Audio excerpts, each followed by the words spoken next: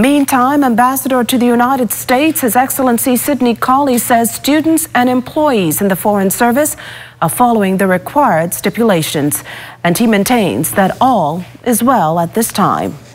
Bahamian students throughout continental United States uh, are following protocols established by their schools, universities, and colleges. The in the continental United States, the Bahamas government has about seven, about five regular consulates and three uh, honorary consuls, one in Houston, uh, one in Chicago, and one in, Atlanta, in uh, LA.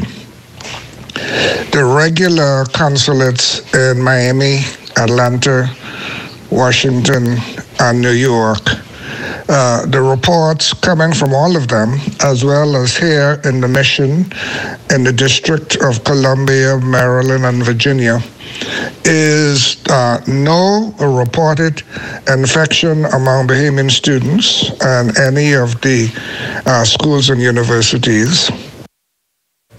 Over in Texas, the Eye on Bahamas organizations ensuring those studying in that U.S. state are safe. President of the organization, Carlisle Mott, is monitoring the situation.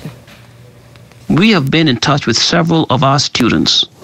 Universities have moved classes to an online forum for the week of March 16th through 20th. Most of the dorms and cafeterias will remain open until further notice. The schools and universities are working closely with the CDC and will decide the course of action as things develop they could decide to hold online classes the rest of the semester or completely shut down campus. Universities are making the decision on a case by case basis. Some of the students have expressed the desire to return home. In talking to them, it has been discussed that they need to be aware that when they want to return to school, they might not be able to if the U.S. restrict incoming travel to citizens and residents only.